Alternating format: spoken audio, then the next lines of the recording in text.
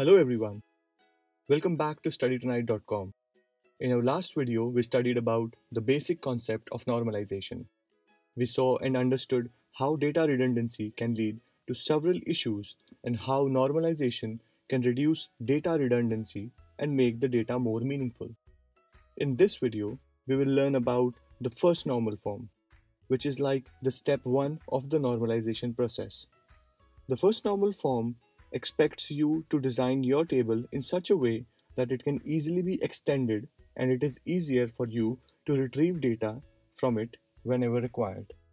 If a table or a database is not even in first normal form, it is considered as bad database design.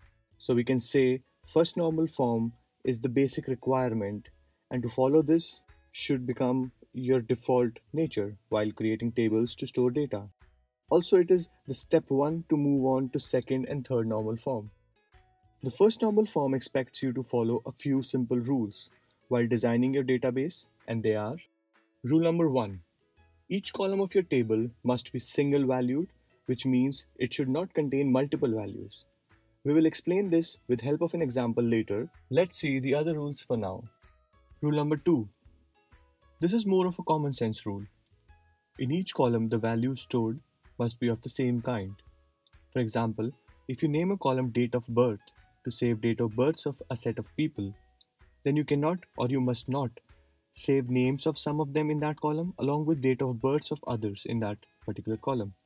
It should hold only date of birth for all the entries or rows. Rule number 3 expects each column to have a unique name. This is to avoid confusion at the time of retrieving data if one or more columns have same name, the DBMS system will be left confused. Rule number 4 says that the order in which you store the data in your table doesn't matter. Although all the rules are self-explanatory, still, let's take an example where we will create a table to store student data which will have student's roll number, their name, and the name of subjects they have opted for. So we will be creating a table with three columns. We can obviously have as many columns in our table as we want, but for our example, we only need three. We will name the columns roll number, name, subject. Let's add some data to our table. Now with data added, our table already satisfies three rules out of the four rules. As all our column names are unique, we have stored data in the order we want it to and we have not mixed different types of data in our columns.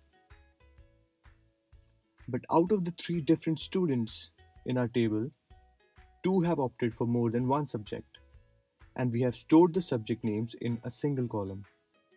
But as per first normal form, each column should contain atomic values. Now how to solve this problem? It's very simple because all we have to do is break the values into atomic values. By doing so, although few values are getting repeated, but values for subject column is now atomic for each row. Hence, a table is in first normal form.